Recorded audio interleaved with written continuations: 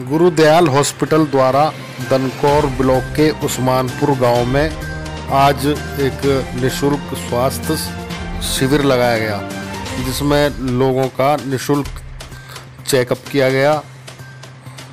उन्हें निशुल्क दवाइयाँ दी गई। इस बारे में हमें डॉक्टर अजय शर्मा ने बताया कि